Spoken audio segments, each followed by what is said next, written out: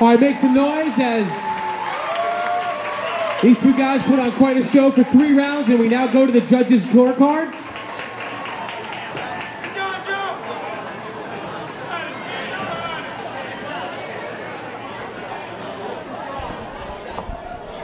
One more time, fans, for Joe Burchett and Josh Campbell getting us underway here at Wars 10.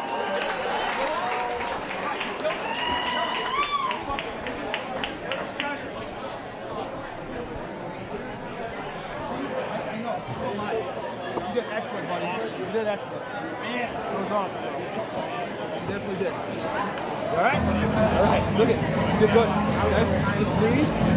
Try to pull some bullshit. Go another fucking round.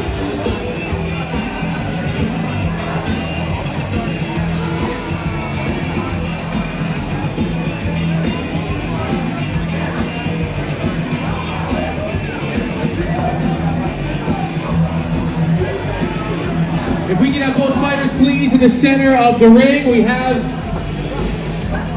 the results from the judges' scorecards.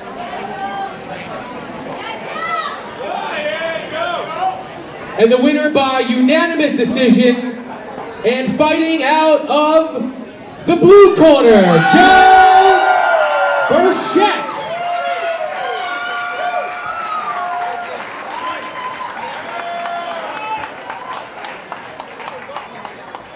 Joe, congratulations. We're off to a good start here at Cage Wars 10, and congratulations on your first win here. Guy uh, had obviously a very awkward style. He was relentless, kept coming at you. It seemed like once you were able to relax and land some leg kicks, that was the difference. Tell me about the one that put him down midway in the second round. I think I just snuck it in, you know. Snuck it right in. I always laugh at when you sit here and talk and you can't understand what the hell they're saying.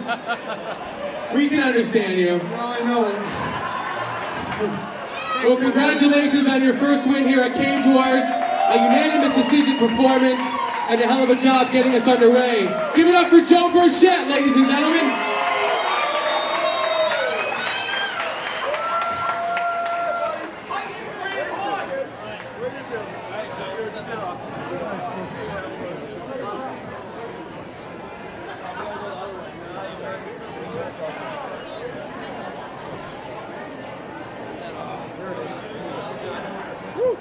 Job, buddy. Excellent. Excellent.